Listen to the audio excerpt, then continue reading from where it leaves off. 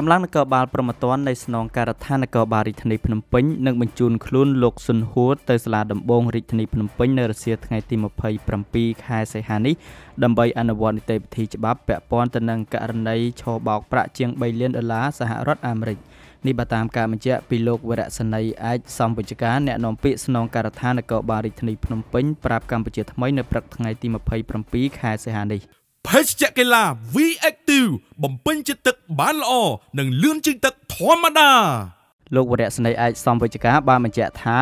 លោកស៊ុនហួរត្រូវបានខត់ខ្លួនពីបទឆបោកក្លែងបន្លំឯកសារសាធារណៈប្រើប្រាស់ឯកសារសាធារណៈក្លែងដែលមានទឹកប្រាក់ប្រមាណ3លាន64ម៉ឺនដុល្លារសហរដ្ឋអាមេរិកដែលប្រព្រឹត្តកាលពីអំឡុងឆ្នាំ2019ដល់ឆ្នាំ2020នៅរាជធានីភ្នំពេញតាមពាក្យបណ្ដឹងរបស់ជនរងគ្រោះ។ បើតាមលោកសំវិជ្ជការជនសង្ស័យឈ្មោះស៊ុនហួរមានអាយុ55ឆ្នាំត្រូវបានកម្លាំងនគរបាលព្រំប្រទានកម្រិតស្រាលនៃស្នងការដ្ឋាននគរបាលរាជធានីភ្នំពេញធ្វើការឃាត់ខ្លួនកាលពីល្ងាចថ្ងៃទី26ខែសីហាដោយអនុវត្តតាមបញ្ជារបស់ព្រះរាជអាជ្ញារងនៃអាយកាអមសាលាដំបងរាជធានីភ្នំពេញនិងតាមបញ្ជារបស់លោកឧត្តមស្នេហ៍ឯកជួននរិនអគ្គស្នងការរង និងជាស្នងការនៃស្នងការដ្ឋាននគរបាលរាជធានីភ្នំពេញ សូមជម្រាបថាលោកឧត្តមស្នេហ៍ឯកស៊ុនហួរមានទូនាទីជាទីប្រឹក្សាក្រសួងមហាផ្ទៃ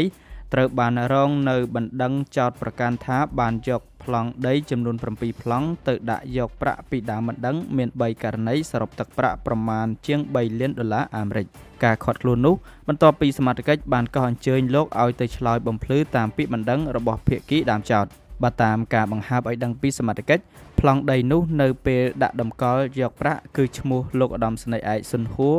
ប៉ុន្តែនៅពេលភាគីដើមមិនដឹងយកទៅផ្ទៀងផ្ទាត់ជាមួយសូរិយោដីទើបមានការឆ្លើយតបមកវិញថាជាប្លង់ដីមិនមែនរបស់ឈ្មោះសុនហួរទៅវិញចំណុចនោះហើយដែលធ្វើឲ្យម្ចាស់ប្រាក់កើតទុកមិនសុខចិត្តប្តឹងសមត្ថកិច្ចជួយអន្តរាគមន៍